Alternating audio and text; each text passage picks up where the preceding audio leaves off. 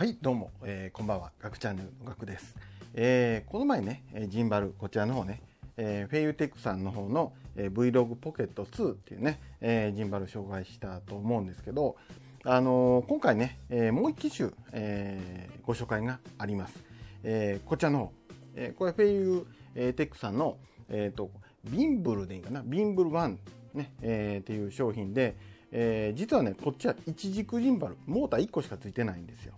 えかなりね、え割り切った仕様の、えジンバルです。ね。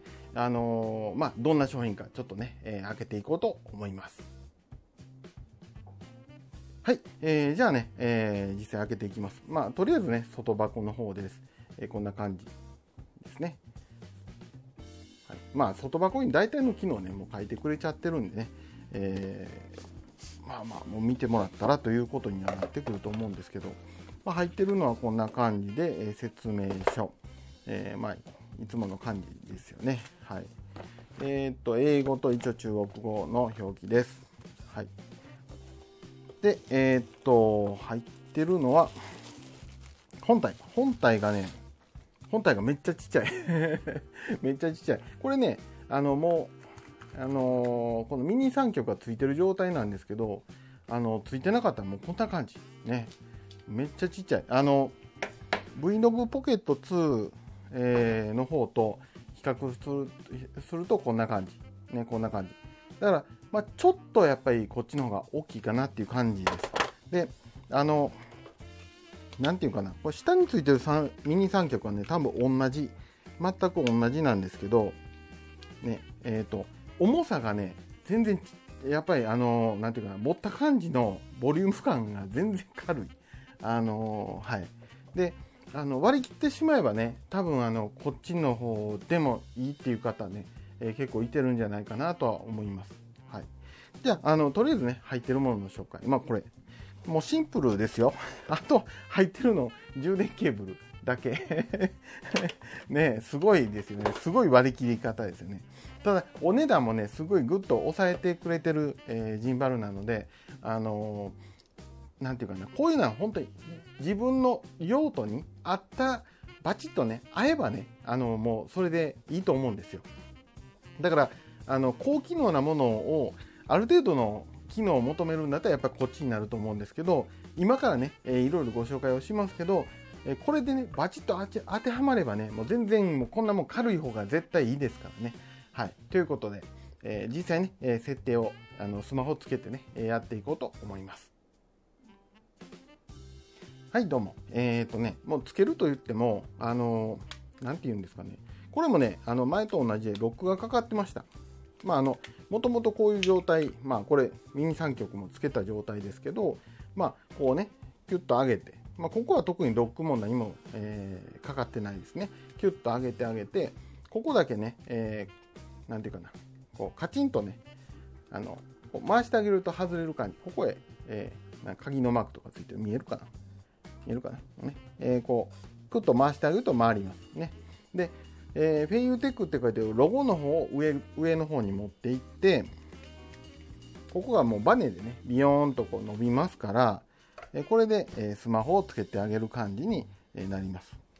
まあちょっと待ってね。えっ、と一応こんでいいかな、えー、こういう感じね。ビヨーンと伸ばしてつける感じね、えー、になります。で、この時に、あのまあ、もうジンバル全部一緒ですね。重さがね、真ん中で重心、あの、こう、中心になるようにね、えー、調整をしてあげてください。まあ、微妙なんですけど、どうしても合わ合わない場合はね、あのなんていうかな、まあ、できるだけ合わせても電源入れてしまえばいいと思うんですよね。ちょっと微妙、おっとっと、微妙に、ちょっとね、僕ね、あのスマホケースのカバーつけたまんま前もねつけたまんまでいけたんでね。それでやってるんですけどね。まあ本当はやっぱりあのケースとか外した方がいいと思いますよ。これねでもねちゃんとやっとかないとねダメなんですよ。まあ本当にわずかのあれで。うん。大体これでね OK かな。こんな感じ。一応こんな感じね。もうこうこうなんていうかな。一応こう真ん中に戻ってくる感じ。ピューっとね、はい、このくらいで合わせてあげたらもうそれで OK ですね。えっ、ー、とじゃあまああのアプリはねこのフェイユーオンか。ね。フェイユーオンっていうね。えー、まああのこうこういうこの手のジンバルの共通アプリになるんですけど、えー、これを、えー、使ってあげてください。まあ、ここからちょっと画面録画もね、えー、しときましょうかね。はい。で、えっ、ー、と、とりあえずは、あの、横向きの状態ですけど、これで電源を入れます。電源を入れるのが、はい。このね、あ、ボタン紹介してない。ボタン紹介してないですね。ボタンね、もうシンプルです。もう3つしかないんですね。これとこれと、えこれ。これね、あの、ズーム機能なんですよ。これだね。えーと、で、えー、これが録画ボタンで、えー、ファンクションキー M って書いてですね、えー、ファンクションキーになります。もう本当にシンプル。ね、えー、3つしかない。ね、でこの状態で、えー、 Feiyu ON、えー、立ち上げます。ね。まあ、あの、うん、こうこういう感じね。あ、電源を入れてね。電源入れてたらもう Bluetooth で、えー、自動的に接続をしに行ってくれますね。えっ、と、はい。ちょっとね、今ちょっとやっちゃいましたけど、おっとと、ね。えこんな感じです。ね、もうシンプルですね。えー、動画静止画の切り替えはここでボタンやってあげて。で、えー、各ね、えー、そのモード、静止今静止画ですけど、えー、なんていうかな、ワイドのパノラマ撮影したりとか、そういうのはここで選んであげて、えー、っていう形、もうここら辺はある程度割愛しますね。あのー、動きはもう大体、えー、どれも一緒なんですけど接続がちゃんとできてないかな？もしかしたら。えー、っとねいやできてると思うんですけどね。よよよ。声優ジンバルの接続があそうかそれ当たり前ですね。ごめんなさい。えー、そう当たり前だ。これ一軸ジンバルなんでここにジンバルが入あジンバルっていうかモーターが入っててこの動きしかできないですね。だからパノラマを自動で撮ろうと思うとこっちが言いますね、えー、そうそうそうそうだわ。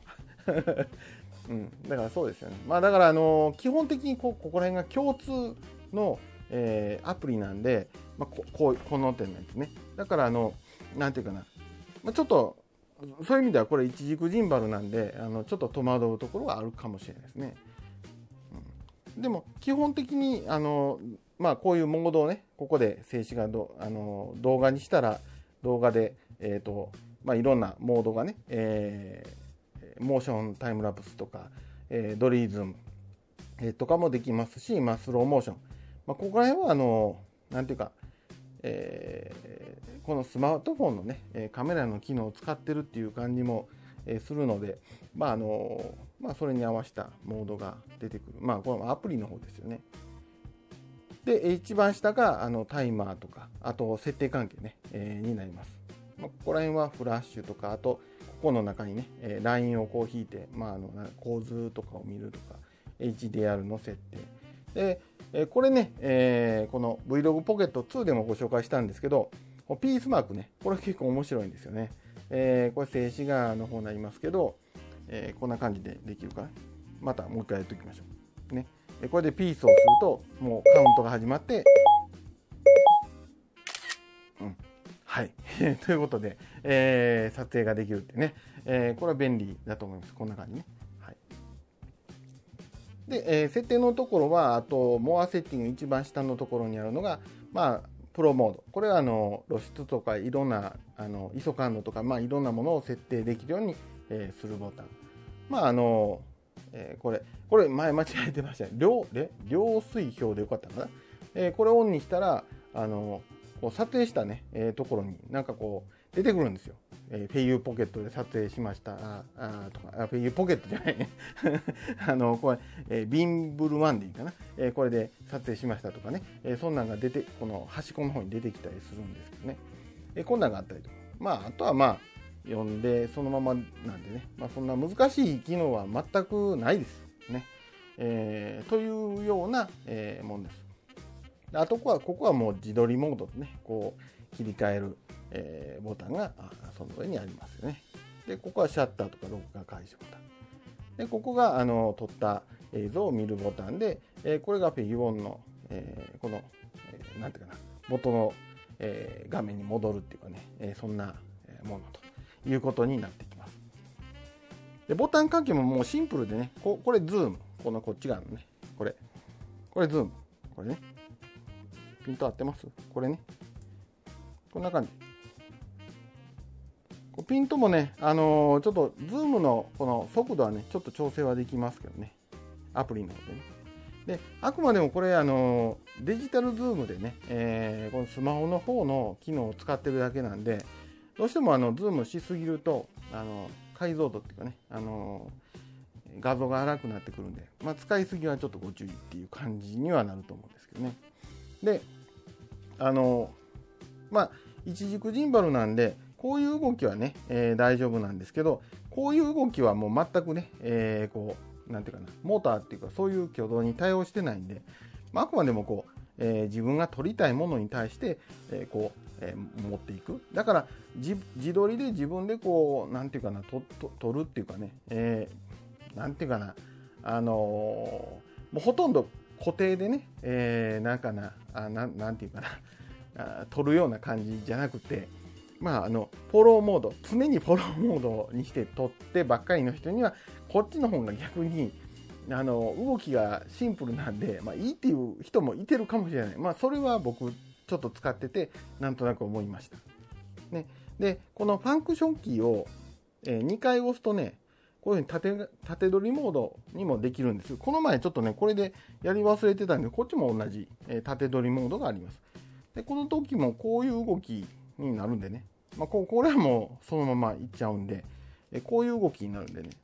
意外とねこうシンプルなこういうこの水平だけ取ってくれるっていうのをジンバルっていうのはねまあ、えー、そそういう意味では使いやすいのかなと思いました、ね、であともう一個のボタンはこれ、えー、撮影ボタンね、えこういうね、えー、だからこっちの分だとあの動画と静止画のね、えー、これ上の方の赤丸が動画で下のカメラのマークが静止画ね。だからモード切り替えをしなくても撮影できましたけどこいつはねモード切り替えをやってあげて、えー、そのモードでの、えー、今やったら動画ね、えー、撮ってますけど、えまあ、こういう風ね、あの風になってます。だから、まあ、本当にシンプルに機能を抑えて、お値段も抑えて、やった、え製品ですよね。僕はね、結構ね、いいんじゃないいいいいんじゃないのって思いました正直一軸ジンバルってどうなのかなと思ってたんですけどね意外とねあの使えそうな感じはしました。はい、ということで、はい、どうも、えー、いかがでしたでしょうか。えー、フェユーテックさんの、えー、ビンブルワン、ビンブルワン、ね、えー、こちらの商品ですけど、あのまあ、興味がね、えー、湧いた方いてたら、一応概要欄の方にね、メーカーさんの方のリンクとか、えー、そういうのは、あの情報はおいあの取れるようにね、え置いときますんで、またね、えご覧いただけたらと思います。まあ、あの今回ね、連続してあの2機種ね、えー、Vlog ポケット2、ねえー、と、えー、ビンブル1、えー、2機種やったんですけど、どちらもね、本当にね、えー、いい製品だと思います。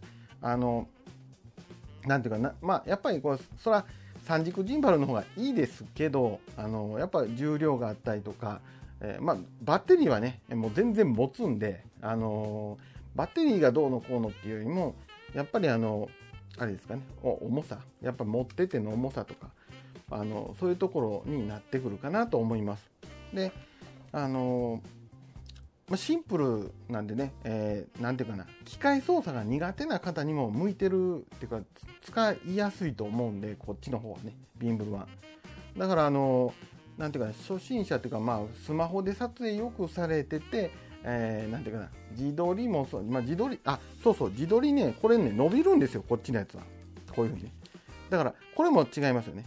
えー、こっち伸びないんで。ね。だから自撮りもしやすくて、あのー、なんていうかな、そういう特徴があるんですね。だから、これはこれでありだなと思いますこう自分とこ撮るのでね、えー、まあ、水平だけ撮ってくれてたら、大体、えそんな気持ち悪い動画にはならないと思うんで、気分、見てて気分悪いような、ね、え動きの動画にはならないと思う。はい。ということで、えいかがでしたでしょうか？あのご興味あれば、ぜひね、えリンクの方を見てみてください。そしたら今日はこの辺で失礼します。さようなら。